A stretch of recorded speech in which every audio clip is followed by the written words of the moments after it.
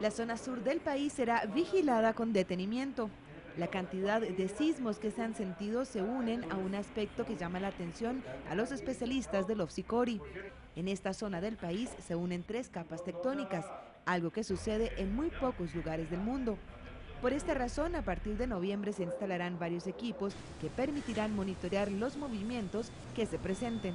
Vamos a, iniciar la construcción de una red eh, de monitoreo geodinámico bien densa en la zona sur del país, precisamente porque es esta región que tiene, donde interactúan tres placas tectónicas y una información muy intensa de la placa de, Panamá, eh, una región que tradicionalmente no ha tenido redes densas para, como para poder eh, ir definiendo las fallas y su potencial.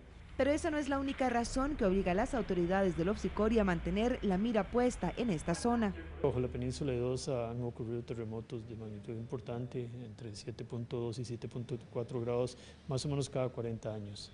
Y el último ocurrió en 1983, llevamos 30 años y podría ser un buen momento para comenzar a hacer un experimento similar al que hicimos en, en Nicoya y capturar el siguiente terremoto bajo la península de Osa.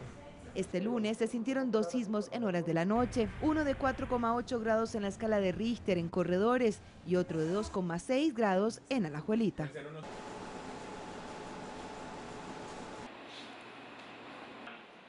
es otro sismo, creo.